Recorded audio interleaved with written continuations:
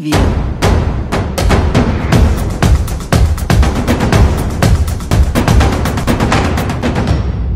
hai ba action Dạ vâng, xin được kính chào các anh chị em, các quý vị khán thính giả, các bạn yêu dấu đã quay trở lại với em Hoàn trên kênh YouTube Vlog. Dạ vâng, à, hôm nay à, một buổi chiều khá là số trời ở thủ đô Hà Nội. Dạ vâng, thì à, may mắn thì em xin được kính trọng giới thiệu anh chị em một chiếc xe rất là đẹp đến từ hãng xe Mercedes anh chị em nhé. Xe này đến từ Đức và chiếc xe này cũng được nhập khẩu nguyên chiếc từ à, nước à, châu Âu đấy. Anh chị em ạ. Ok, chiếc xe này thì à, có thiết kế rất là đặc biệt anh em nhé. Chiếc này là GLA 250 Formatic xuất năm 2015. Đấy, anh chị em ạ. Ờ, GLA có 4 phiên bản anh chị em nhé. GLA 200, GLA 250, GLA 45 và GLA 45 uh, Formatic uh, Edition. Ok, mời bạn cameraman à, đi một vòng à, xe. Chúng ta có thể thấy được cái thiết kế đặc biệt của chiếc xe này. Mặc dù à, thiết kế nó khá là nhỏ nhắn xinh xắn như này thôi nhưng mà chúng ta có thể thấy được một sự trẻ trung rất là, rất là đặc trưng của dòng VLA này. Những nét uốn lượn những nét uh, thể thao dập nổi xuyên suốt từ đầu nắp capo cho đến uh, uh, cuối uh, nắp cốp xe. Chị em nhé.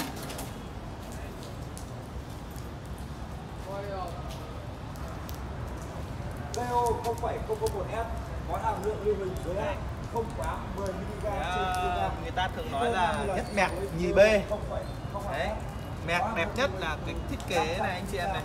đấy, từ phần ờ, đèn pha cốt nhé đấy anh chị em có thể tưởng tượng được đây từ những chiếc đèn pha của mẹc đây.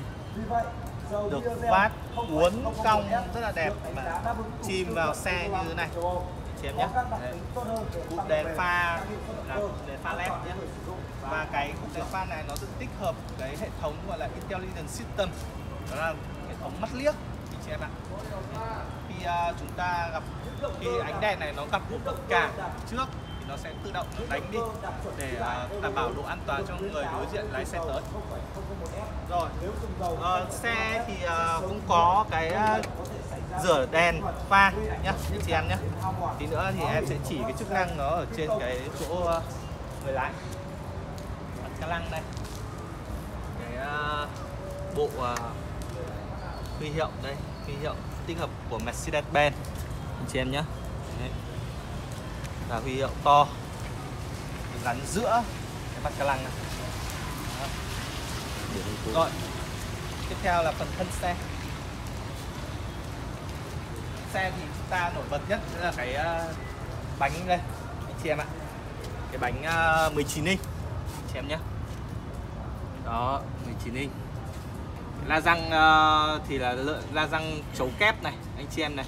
Hình ngôi sao nhé.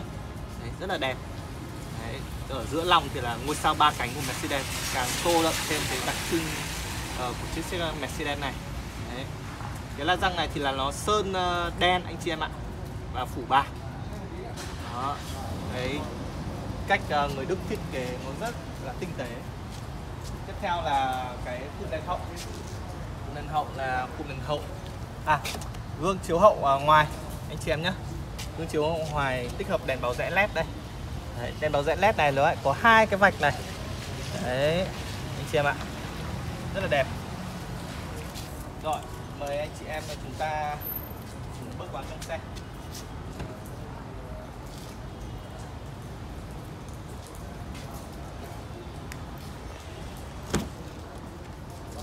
Dạ vâng, uh, xe nội thất màu chủ đạo là màu đen anh chị em nhé.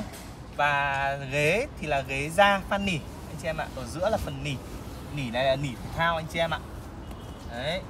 Anh chị em có thể thấy là Mercedes rất chú trọng những người trẻ tuổi đây. Chỉ đỏ nhá. Chỉ đỏ rất là đẹp. Đấy. Tôn lên cái à, vẻ thể thao cho chiếc xe. Anh chị em ạ. Đó. Ok. À, anh chị em có thể nhìn thấy đây.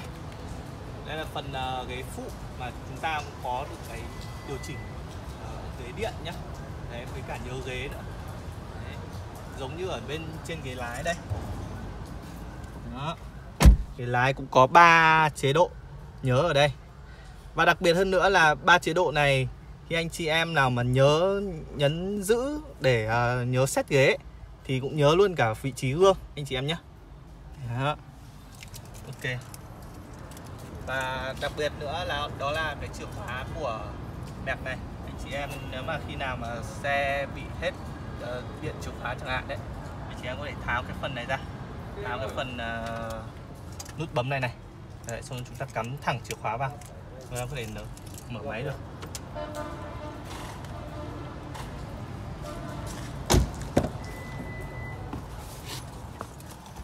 Dạ vâng, thì đây là nội thất bên trong ờ, và các công nghệ. Đây Bây giờ xe sản xuất năm 2015 nên anh chị em ạ. Thì chúng ta vẫn tích hợp những cái công nghệ nó gọi là khá là cũ Anh chị em nhé Ví dụ như cái màn hình giải trí này anh chị em à Nó khá là bé Đấy. Thêm nữa là chúng ta còn có những nút tích hợp ở đây Nút uh, giống như những chiếc uh, uh, điện thoại đấy ạ Trên điện thoại anh chị em nhé Đấy. Thêm một điều nữa đó là xe cũng đã tích hợp cái hệ thống điều hòa điện tử và có uh, chức năng là lọc không khí anh chị em nhé. Đó.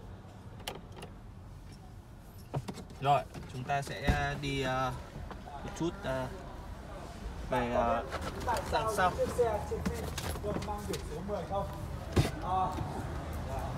Đây, phần ghế đằng sau chị em ạ khá là ngắn.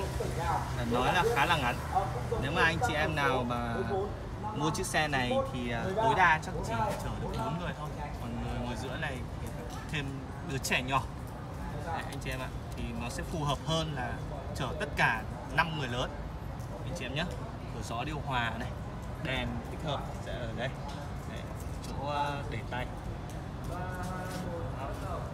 Bạn có biết tại sao đây phần uh, cốp xăm. cốp thì là cốp điện anh chị em ạ. Đó.